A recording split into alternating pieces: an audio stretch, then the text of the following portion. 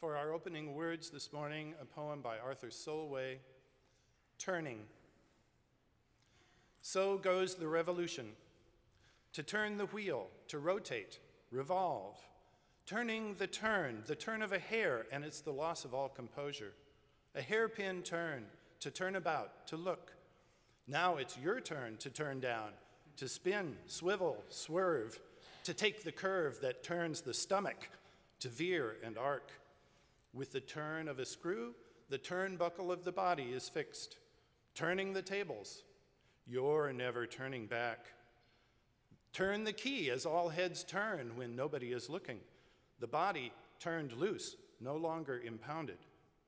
Turn up the music, turn off the lights, turn on, turn over. We take turns twirling before turning in for the night to return to sleep, to turn out with the morning riders who, in turn, turn their pages.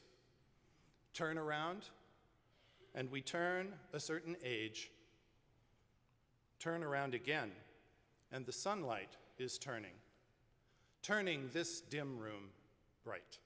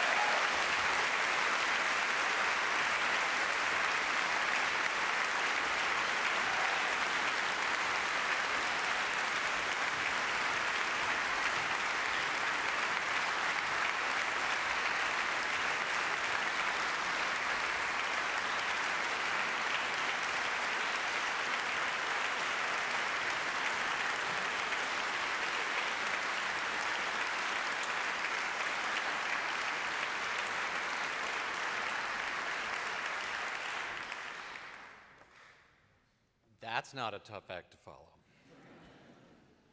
Uh, my name is Tim Spurgeon, and I am the chair of the Convocations and Commencement Committee, which means that it's my job to say a bit about the speakers who will join us for convocations in the coming year. On November 5th, we'll welcome Ta-Nehisi Coates, a national correspondent for the Atlantic Monthly. His most recent book, Between the World and Me, takes the form of a letter to his teenage son and also takes up the question of, quote, how One Should Live Within a Black Body. The book is currently number two on the New York Times bestseller list and was just this week nominated for the National Book Award. On February 16th, we'll be joined by Krista Tippett, host of the public radio series On Being. A past winner of the Peabody Award and the National Humanities Medal, she has been praised by the White House for, quote, thoughtfully delving into the mysteries of human existence and inviting people of all faiths, no faith, and every background to join the conversation. On Honors Day, that's May 24th, we'll hear from one of our own, philosopher John P. Dreher. Since coming to Lawrence in 1963, John has won the University Award for Excellent Teaching, the Freshman Studies Teaching Prize, and now, to top it all off, the Faculty Convocation Award.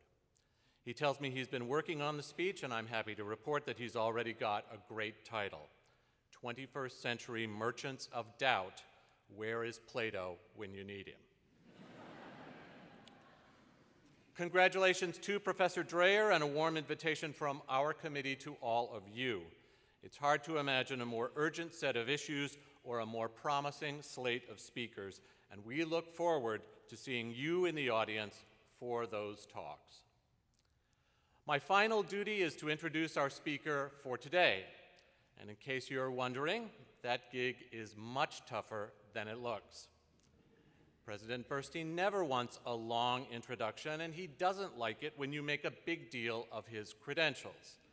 You know, Vassar, the Wharton School, government service to the city of New York, Columbia, Princeton, all of that stuff, he hates it. To make matters even worse, he's come up with this crazy title for mature audiences only, a liberal arts education.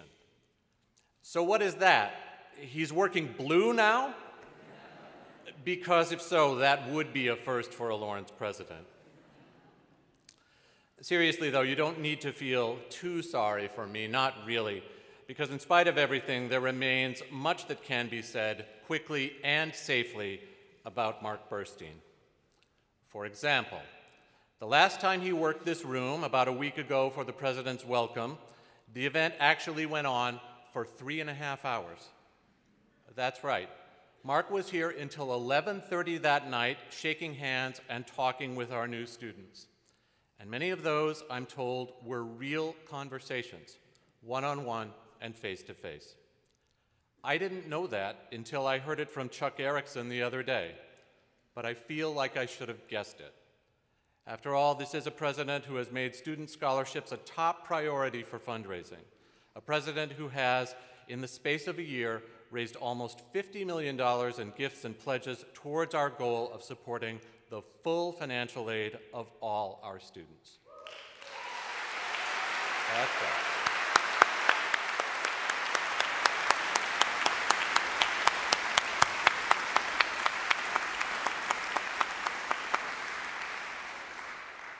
I'm sure he'd want me to add that we still have a long way to go, but I hope he won't mind my saying that he's gotten us off to a great start. Actually, that seems like a pretty good place for me to stop. And besides, we're all dying to know what's up with that title. So here he is, answering the bell for round three, our 16th president, Mark Burstein.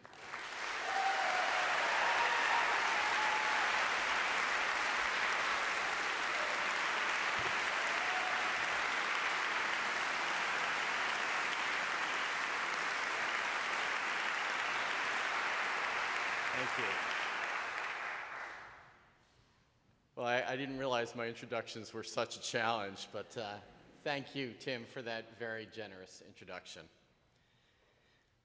Before I begin, I want to mention the accident involving four Laurentians, which Vice President Truesdell informed the community of yesterday. As they recover from their injuries, I hope you join me in sending healing thoughts and prayers their way. Thank you, Catherine Handford, for providing an organ prelude that sets the stage for this and every other convocation. Thank you, Philip Swan, Stephen Sieck, and members of the freshman class for beginning our year with such beauty. I look forward to many future performances. And thank you, Howard Niblock, for your thoughtful selection of today's opening and closing words. I also want to thank Tim Spurgeon and the, the Convocation and Commencement Committee for assembling a provocative and engaging series. I hope you will join me in attending all convocations this year. Welcome to the freshman class and our seven tenure line colleagues who moved to Appleton this fall. You will create the future of Lawrence. For the rest of your lives, you will represent this university in all that you do. Thank you for joining us and renewing what it means to be a Laurentian. It is an absolute pleasure to be here today with you to celebrate the opening of our 167th academic year. I begin grateful for the work last year by many colleagues to enhance the education we offer and to the larger Lawrence community who, by virtue of their record-breaking investment in the future of this university, will allow us to make Lawrence more affordable. These efforts and others have given us extraordinary momentum. Thank you all for helping us sustain the exceptional education we offer. I want to dedicate this talk to the 147 students who died at Garissa University College in Kenya last spring. We have reached a critical moment as a global community when a sectarian conflict can boil over into a terrorist attack on unarmed students who are trying to simply better themselves through education. We must stand with every other higher education institution to make our campuses safe from such violence. It was a year of many remarkable events for Lawrence, and for me. But what stands out most in my mind is a conversation that took place in a sexual misconduct working group meeting in July. As I mentioned in an email to our community a few weeks ago, a group of us met frequently this summer to update our sexual misconduct policies, procedures, and educational strategies in an effort to respond to issues that students raised last spring. During that meeting, a conversation began about the new website. I suggested we post a rap video performed by a young man who lamented his having stood silently by as a friend described a sexual assault. This video had a profound effect on me, and I hoped the message would have the same impact on members of our community. Many in the working group thought this was a good idea. But one colleague asked, Does the rap contain swear words? I was then informed we do not include content on our website with profanity in deference to students and parents who would prefer not to hear this language. At that moment, my blood began to freeze. My mind ran to all the provocative literature and film that swear words with swear words that I have consumed. And I thought, what have we done? How can it be appropriate for college to self censor our content in this way? There have been many moments this past year where members of the Lawrence community have felt hurt, objectified, and unsafe in response to other people's views or comments expressed on campus, in the classroom, and on social media.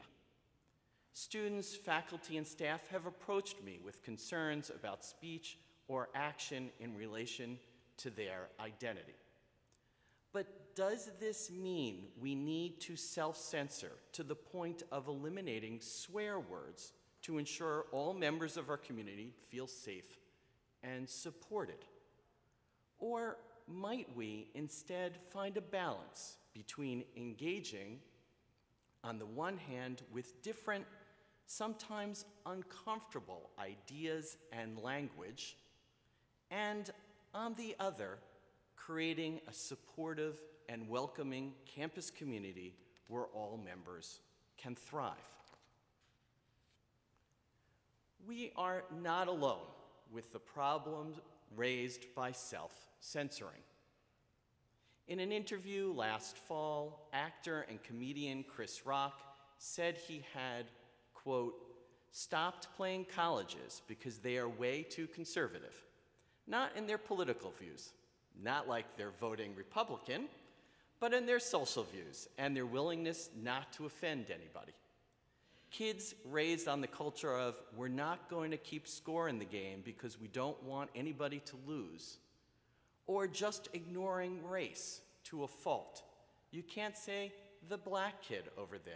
No, it's the guy with the red shoes. You can't even be offensive on your way to being inoffensive. President Obama opined on this topic at a town hall meeting this past Monday in Iowa he stated, I've heard some college campuses where they don't want to have a guest speaker who is too conservative, or they don't want to read a book if it has language that is offensive to African Americans, or somehow sends a demeaning signal towards women. And I gotta tell you, I don't agree with that. He went on, I don't agree that you have to be coddled and protected from different points of view. Anybody who comes to speak to you and you disagree with, you should have an argument with them. But you shouldn't silence them by saying you can't come because I'm too sensitive to hear what you have to say. That's not the way we learn.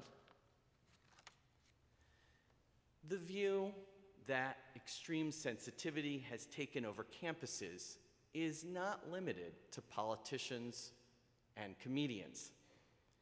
In a New York Magazine article called Not a Very PC Thing to Say How the Language Police Are Perverting Liberalism, Jonathan Chait chronicles a number of incidents at UCLA, Harvard, Michigan, Mount Holyoke, and Stanford, among others.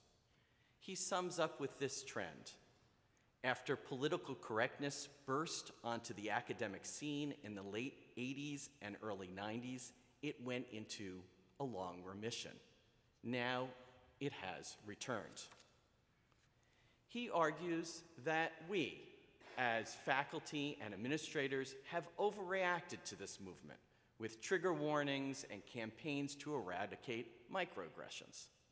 He calls he recalls one professor at a prestigious university telling him that just in the last few years, she has noticed a dramatic upsurge in her students' sensitivity toward even the mildest social or ideological slights. She and her fellow faculty members are terrified of facing accusations of trigger trauma, or more consequentially, violating her school's new sexual harassment policy merely by carrying out their traditional academic work of intellectual exploration. Trigger warnings have been defined as alerts that professors are expected to issue if something in a course might cause a strong emotional response. And microaggressions have been defined as small actions or word choices that seem on their face to have no malicious intent but that are thought of as a kind of violence nonetheless. Chait is not alone in raising the alarm. Many recent books and articles have been published claiming college communities have curtailed freedom of speech. Not all efforts to sanitize the educational environment come from the political left. For example, this fall, an entering Duke freshman started a Facebook campaign against the assignment of a book that Laurentians know well, Fun Home by Alison Bechdel. This student objected to, I quote, because I think sexuality is becoming more and more commonplace in our culture, and that's a risk. Universities like Duke risk isolating or even discriminating against people with conservative beliefs. Another student posted, I am a Christian, and the nature of Fun Home violates my conscience due to its pornographic nature. Fun Home has caused a stir on many campuses.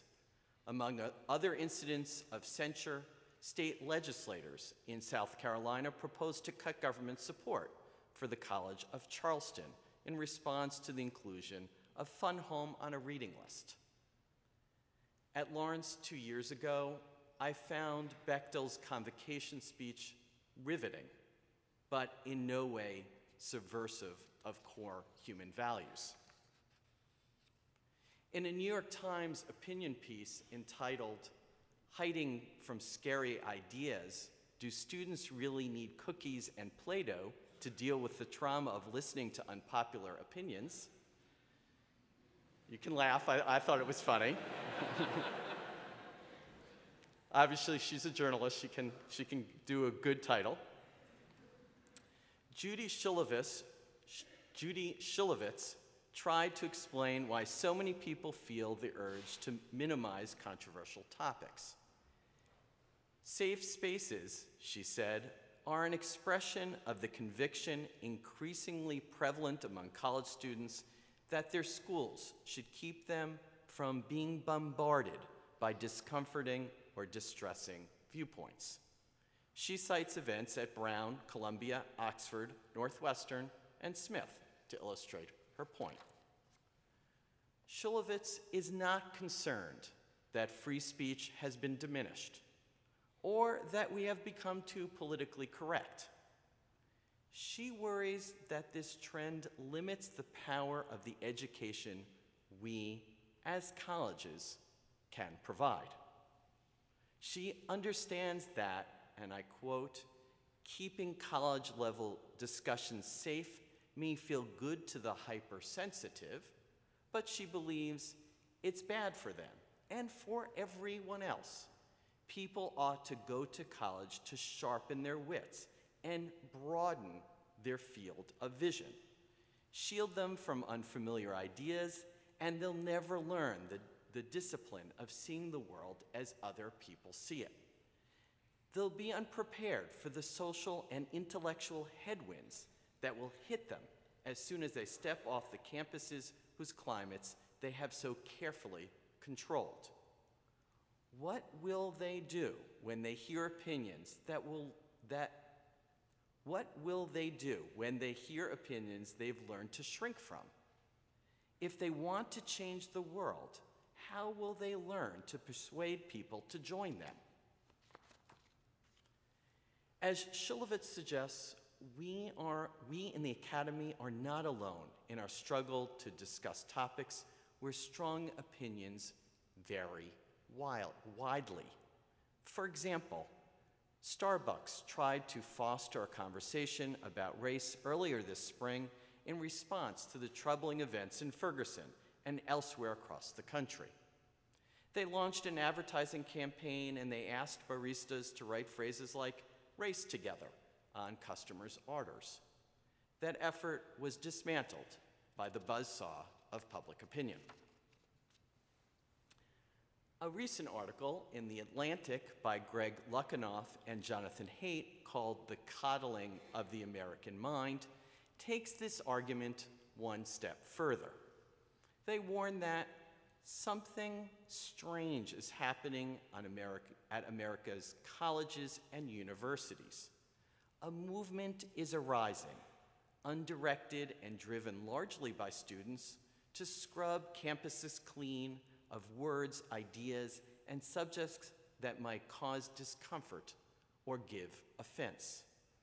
They insist that the demand for trigger warnings and avoidance of microaggressions presumes an extraordinary fragility of the collegiate psyche and therefore elevates the goal of protecting students from psychological harm. The ultimate aim, it seems, is to turn campuses into safe spaces where young adults are shielded from words and ideas that make some uncomfortable. Anyone who interferes with this effort is punished, even if the interference is accidental. The authors call this impulse vindictive protectiveness. They believe it is creating a culture in which everyone must think twice before speaking up, lest they face charges of insensitivity, aggression, or worse. As a result, these authors believe the campus environment prepares students poorly for professional life, which often demands intellectual engagement with people and ideas one might find uncongenial or wrong. And it is bad for American democracy, which is already paralyzed by worsening partisanship. Voices from management theory support this concern. For example, in the Harvard Business Review, Jeff Weiss and Jonathan Hughes explained that disagreements sparked by differences in perspectives, competencies, access to information, and strategic focus within a company actually generate much of the value that can come from collaboration across organizational boundaries. Clashes between parties are crucibles in which creative solutions are developed and wise trade offs among competing objectives are made. So instead of trying to simply reduce disagreements, senior executives need to embrace conflict and, just as important, institutionalize mechanisms for managing it. A recent research project by the Pew Charitable Trust also illustrates the need to discuss different points of view if society is to solve pressing global problems. The, the study discovered some interesting uh, disagreements between scientists and the American public. For example, 88% of scientists believe it is safe to eat genetically modified foods, but only 37% of US adults agree. Maybe more pressing issues 87% of scientists believe climate change is mostly due to human activity, but only 50% of US adults agree.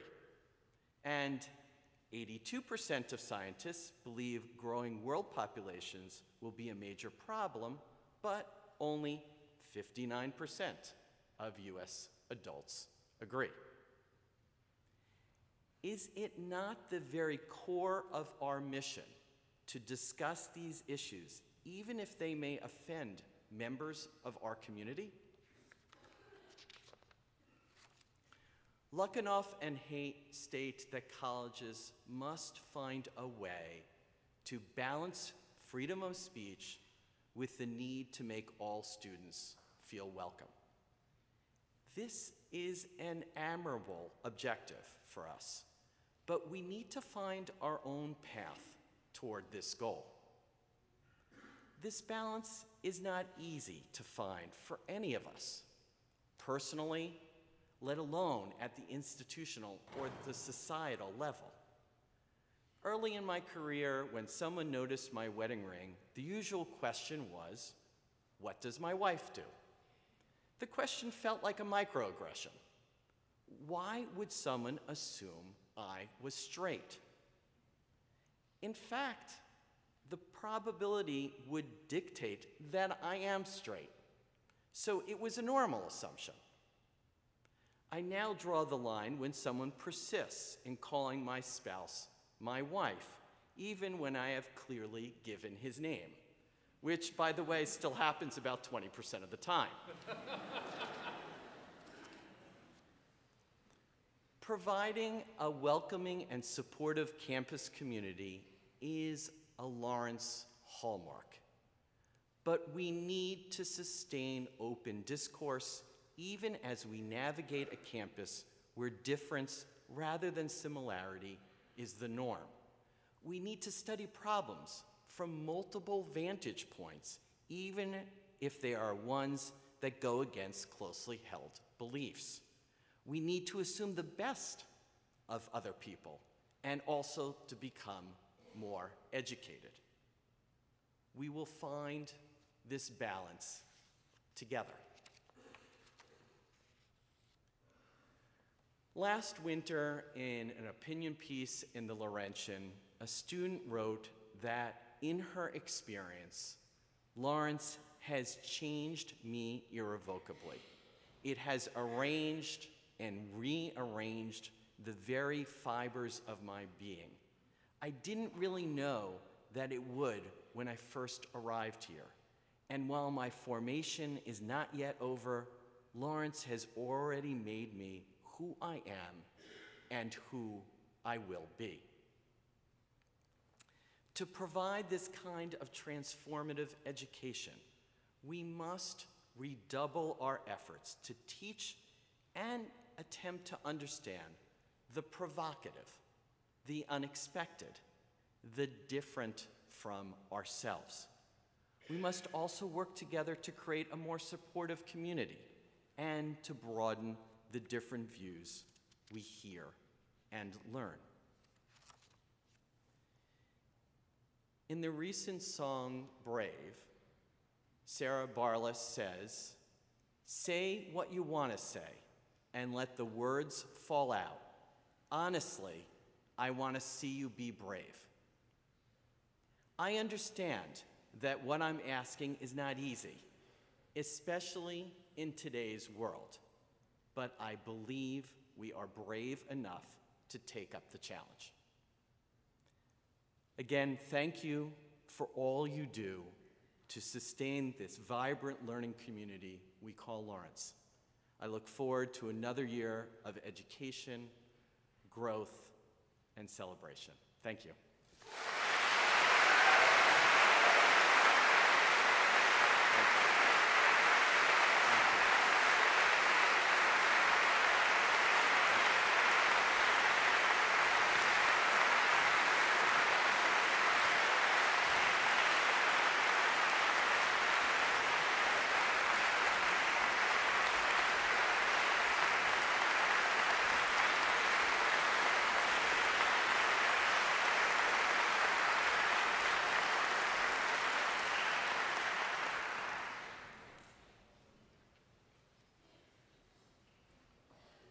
Our closing words today are taken from the works of the American poet Nate Pritts. I'm setting out on a new journey, ever faithful. Early on, I walked away from everything, from things I loved. But now, when I come to the ocean, as I know I will, foaming like some impossible hell, I won't despair or surrender.